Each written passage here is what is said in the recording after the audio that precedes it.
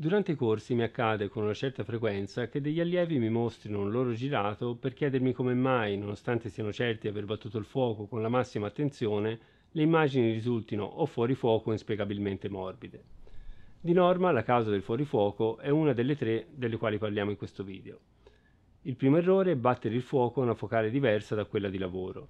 Esistono degli obiettivi zoom detti parfocali che sono progettati per mantenere la distanza di fuoco impostata anche quando si varia la lunghezza focale.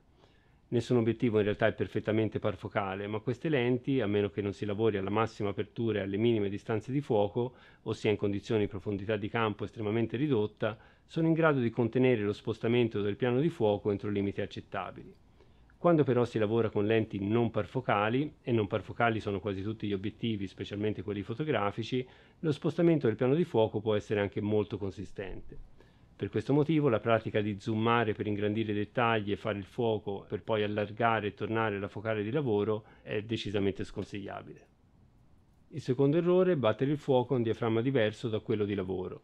C'è un'aberrazione ottica che si chiama aberrazione sferica residua che fa sì che il piano di fuoco si sposti avanti o indietro quando si chiude il diaframma.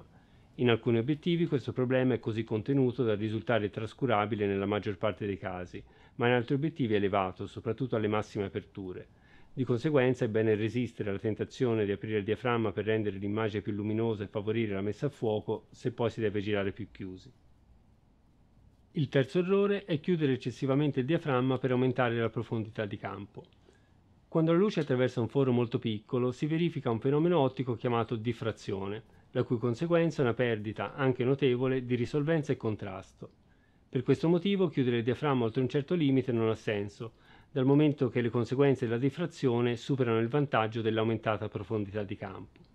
Il limite della diffrazione dipende dall'obiettivo e dal sensore in uso, Così a spanne si può dire che su un sensore Super 35 gli effetti della diffrazione iniziano a essere percepibili verso f5.6, ben visibili tra f8 e f11 ed eccessivi superato f16.